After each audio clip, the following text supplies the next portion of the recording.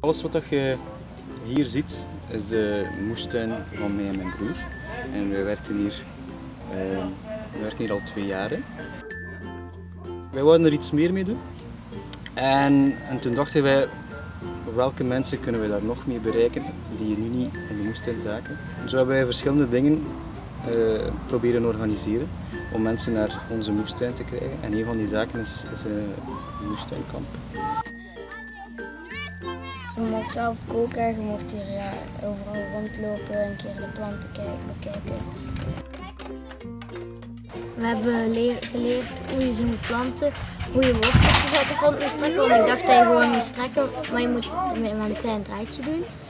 En ook we hebben uh, geleerd van voor bijen veel, want daar, wij zijn ook naar een imper geweest.